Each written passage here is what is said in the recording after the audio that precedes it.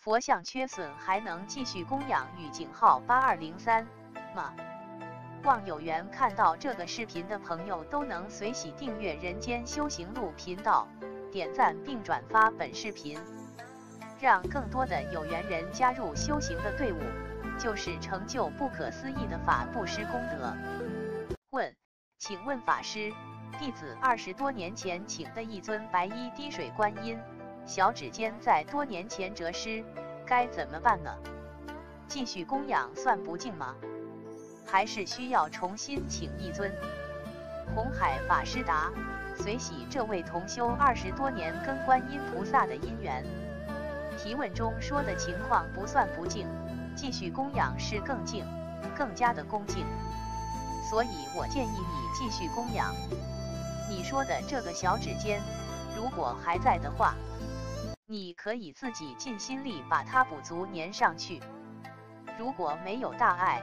有一点小裂缝也很正常，虽然菩萨的手有点小裂，我们的心没有裂痕就可以了。而且，如果你把它补好，继续供养，这个恭敬心更可贵。我们戒律里面，特别是大乘菩萨戒里面说，能够补全佛像的，比你请心的功德更大。这个行为起见的因缘非常殊胜，修补佛像。就等于说礼敬诸佛，请佛注释，随喜赞叹，请佛说法，这些功德在里面都已经均沾了。这个行为好像很简单，但是这个法义是非常甚深的。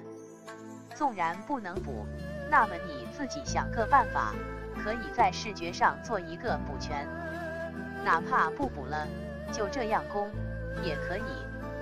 一个小指尖，我觉得不是很大的问题，但是这里面有一个简则，就是作为凡夫俗子，我们有时候会觉得，我请了一尊菩萨，他是我的菩萨，我供的菩萨一定要有一个完美的形象，我就心平了。